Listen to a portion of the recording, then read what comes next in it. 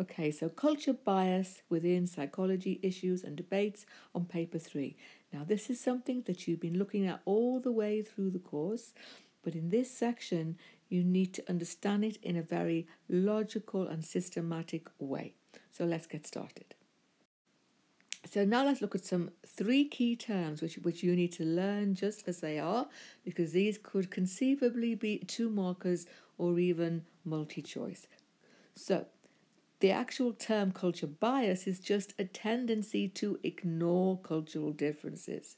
So, in other words, all behavior is interpreted through the lens of your own culture. That behavior is wrong, that behavior is right, is all judged through our own experiences or our own culture. It tends to happen all the time. Why does that happen? Because we don't even realize that we're being culturally biased. People just don't realize it because from a very early age, we have been permeated. All of our life is subtly permeated by these cultural differences, and we don't even notice they're happening. We just think of it as being the norm. Ethnocentrism means that you actually make a judgment about normative behavior and standards, okay, by those of your own culture. So, this can lead to a lot of prejudice and even discrimination towards other cultures. A good example would be how, you know, what you do to greet somebody that you've never met before.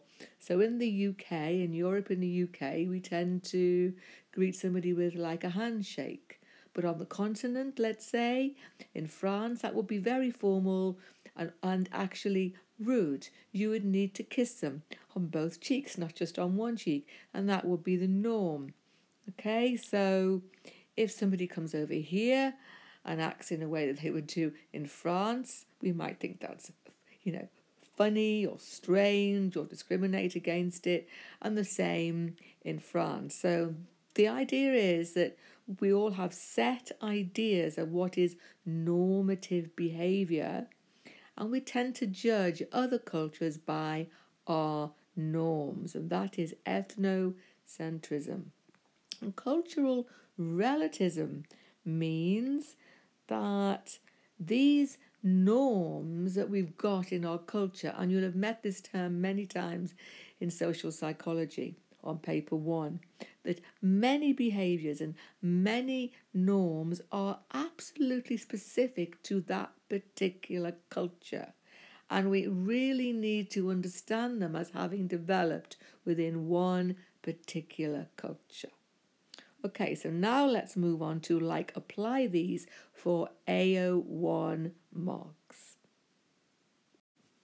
Okay, so universality and bias.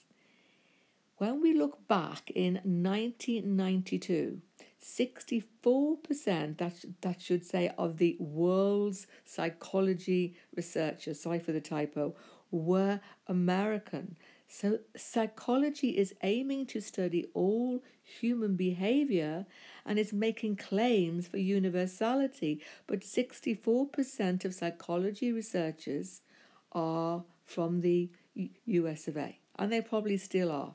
Okay, so it is a mistake to believe that the findings and conclusions of theories in studies can be applied all over the world. Is that a fact? Or can we apply them? That's a big argument. E.g., Solomon Asch, Stanley Milgram first carried out their famous studies in social psychology, and they were in America but they were subsequently replicated all over the world, and therefore we found that there was a lot of variations in those findings. So, if behaviour is judged from the standpoint of only one culture, then the findings that deviate might be thought to be abnormal. So, what we're arguing is that, you know, Stanley Milgram's obedience studies let's just look at him, were done all over the world, but he started in the USA. And if they'd never gone anywhere else in the world, then you could have said, well, that's a cultural bias. But actually, they did go all over the world, and there were many different findings. Okay? But if you take the view that the American standard is the only standard, the baseline findings of Milgram that 66% obeyed, then the other ones were would be abnormal. Okay, we would say they are, you know, they are abnormal. It's a bit hard to get your head around this. We are not saying those were abnormal findings, but if we took a cultural bias point of view, then we would. But actually, Milgram wanted all of his experiments to be replicated all over the world. A good example of it being vastly different was a 1970 study where they did where they can easily replicate Milgram because it's a very easy lab experiment to replicate. And so it was replicated in the 1970s in Australia, and the findings were very strange. Only a very small proportion of people obeyed and went all the way to kill the person, apparently to kill the person in the other room with the electric shocks, with the fake electric shocks. And who were in these studies? Women. So it was very, very interesting that women in 1970s Australia were far from obedient in that sort of situation, that lab experiment, and with all those situational variables in place. But no one is saying they are abnormal or deviant, but you might, if you did have a bias, want to come to the conclusion that there's something wrong with Australian women. Okay?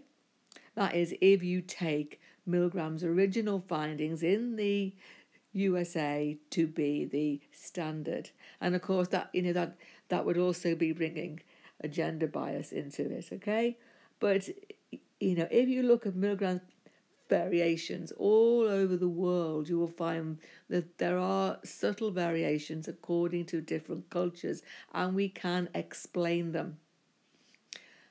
Another good study to look at would be Mary Ainsworth's strange situation here. A very, very good one to look at because there were very clear cultural differences in those, you know, results. So once again, we've got a standard lab experiment that will be replicated exactly, and still there will be far different results in different cultures. So you can use that data um, as well. And you could have a bias against a culture if you took Mary Ainsworth's first findings as the standard, okay, because of the, you know, sort of USA as being the original finding, So 66% secure and so on. Second point, ethnocentrism. Now, this is a particular form of culture bias where you believe in the superiority the superiority sorry of your cultural norms that you have the right norms your normative behavior is correct and everybody else's is not so again you can bring mary ainsworth in here for example in the strange situation she identified that you know secure attachment was you know was a desirable one so when the babies were were really upset when the mum, you know, you know, left the room, but they were easily comforted and easily settling into her when she came back and easily settled down to play again. That was secure behavior.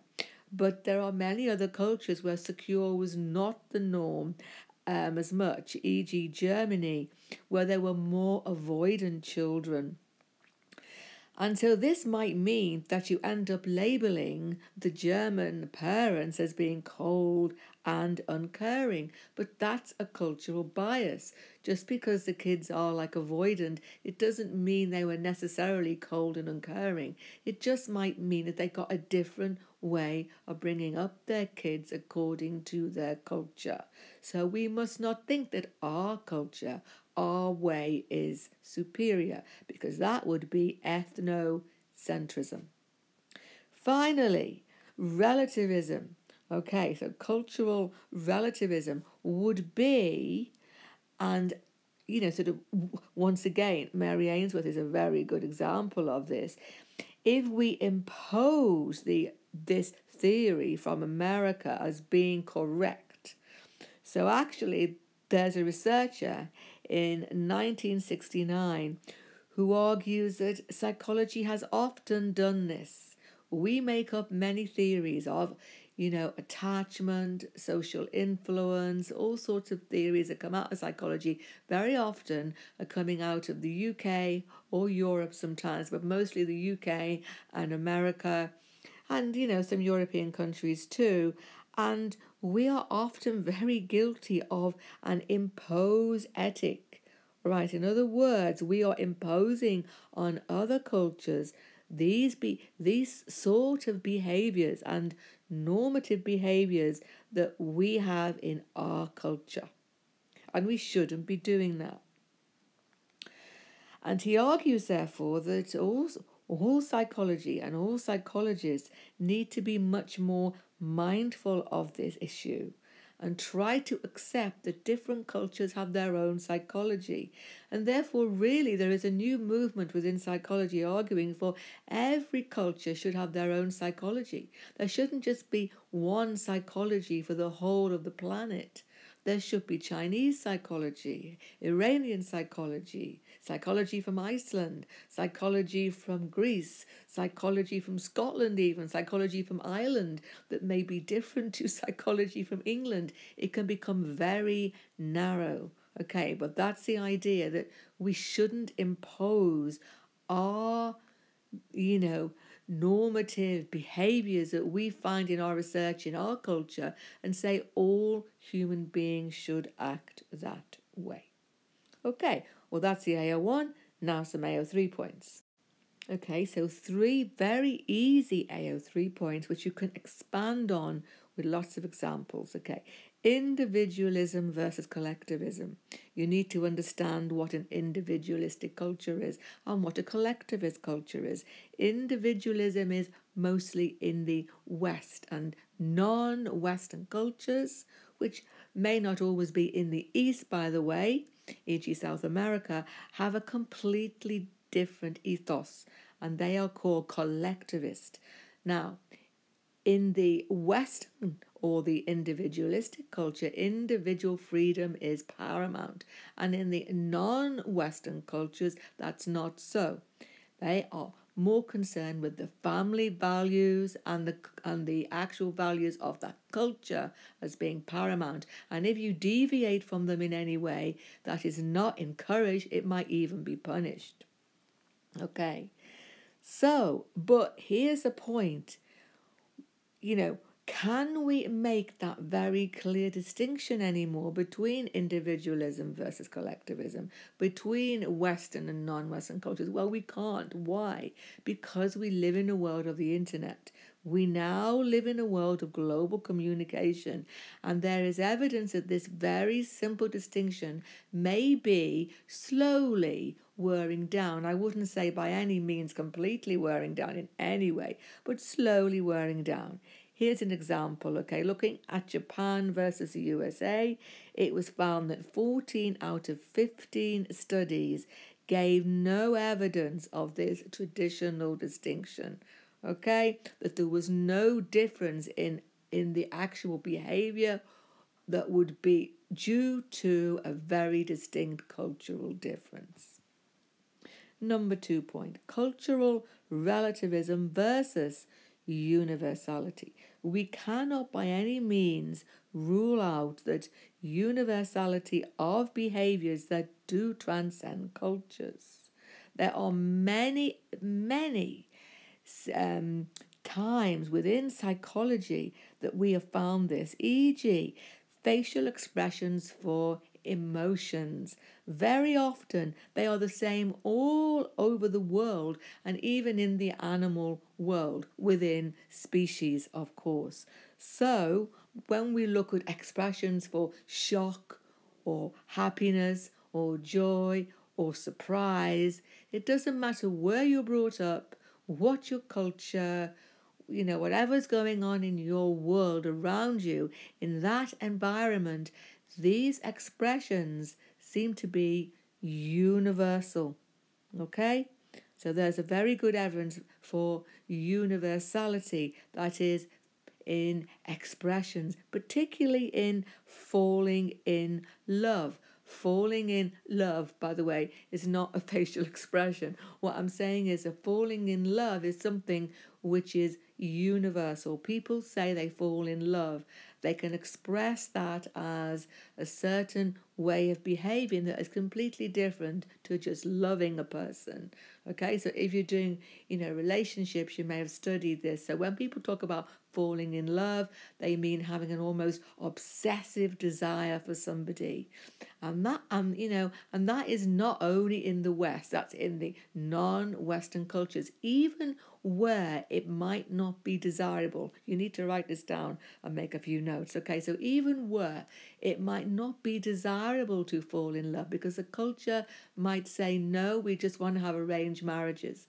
But nonetheless, even where it might not be desirable, people do it. They can't help it. They fall in love. So these things, okay, uh, falling in love and facial expressions are actually driven by our biology. Very often, biology transcends cultural factors and becomes universal. Final point is, of course, demand. Is a cultural uh, you know, distinction or a bias more evidence where we have a uh, psychology going on. So, where we have psychology going on, and this is mostly in the West, of course, there seem to be more demand characteristics. So, this means that, you know, when you go all over the world to do research, it's not so much now, but it was certainly the case in the 1950s and 60s when people didn't know anything about psychology research and so on. We you know, we really tend to find that people who go into lab experiments in the West understand what psychology is, even if they don't know what they're looking at in that study. And therefore, they are prone to have demand. They want to look good. They want to look like they're not crazy, basically. That, that's a baseline, okay? So people know what psychologists is. They know what psychologists are, and they know that their behavior in the lab is going to be judged. Whereas other people who don't know what psychology is, they may be more natural. So, therefore, demand may have a cultural bias. There may be more demand in the lab in the West. Okay, so there we go. There you have enough for a 16 mark answer or for anything else they can throw at you. Okay, good luck with that.